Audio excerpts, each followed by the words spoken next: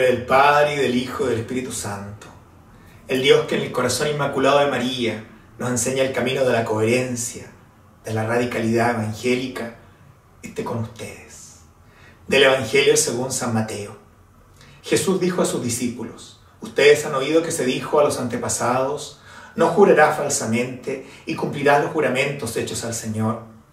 Pero yo les digo que no juren de ningún modo ni por el cielo, porque es el trono de Dios, ni por la tierra, porque es el estrado de sus pies, ni por Jerusalén, porque es la ciudad del gran rey, ni jures tampoco por tu cabeza, porque no puedes convertir en blanco o negro ni uno solo de tus cabellos. Cuando ustedes digan sí, que sea sí, y cuando diga no, que sea no. Todo lo que se dice además viene del maligno.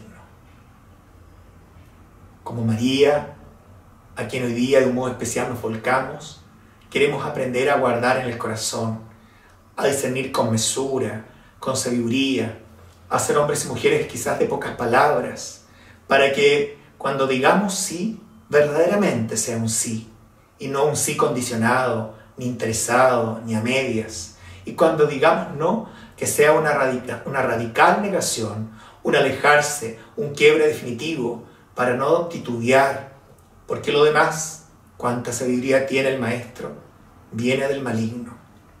Por eso no hemos no solo de jurar en vano, sino que mirando a María queremos aprender a caminar en la verdad, en la pureza y en cada uno de los valores hermosos que ese corazón inmaculado irradia sobre el mundo entero.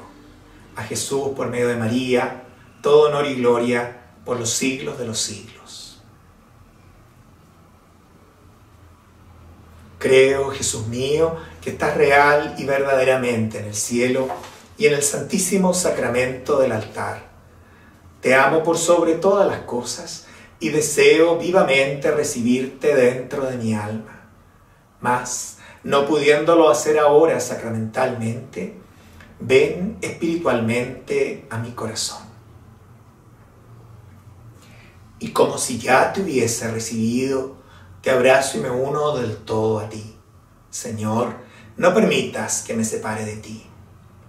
Y por intercesión de la Virgen Santa, les bendiga Dios Todopoderoso, en el nombre del Padre, y del Hijo, y del Espíritu Santo.